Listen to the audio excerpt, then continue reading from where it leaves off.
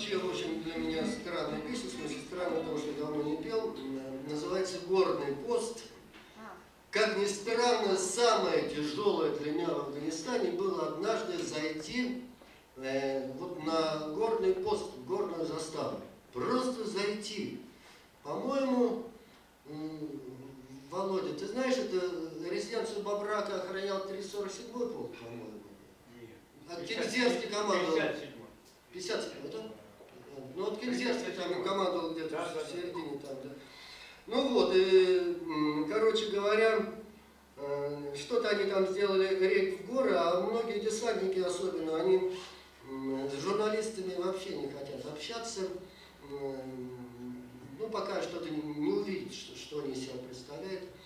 И, короче говоря, сколько я не подкатывался к этому Кензерскому, там, его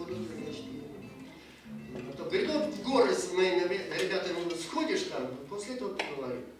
Вот. Ну я, конечно, согласился, но не думал, что будет тяжело. А просто было, ну, обошли там несколько таких постов, застав, который выставлял именно этот полк.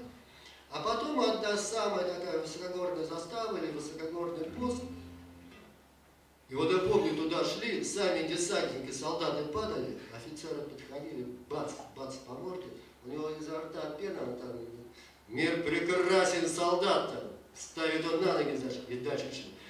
А еще начался какой-то такой свирепый ветер, что у одного вот с, рюкзака десантника, там привязаны еще были бушлаты, там, просто несло бушлат пропасть. И я сам думал, что я там свалюсь несколько раз пропасть.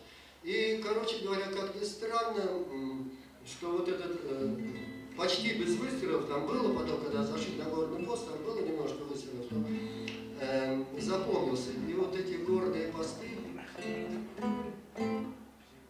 пытался это выразить. Стало нынче больше звезд, вечная природа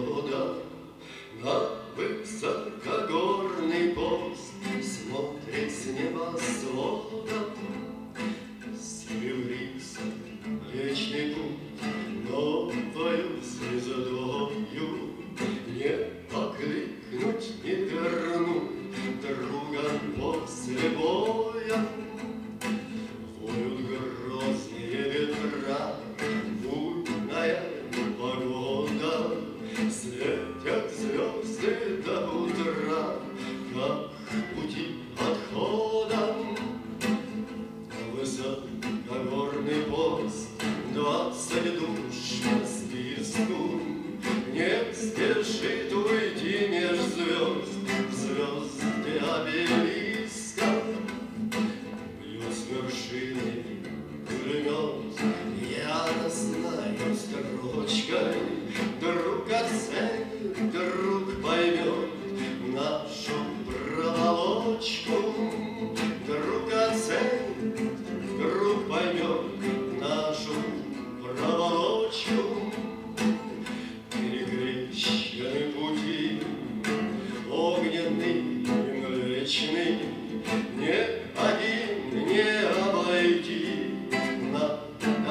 дороге вечной.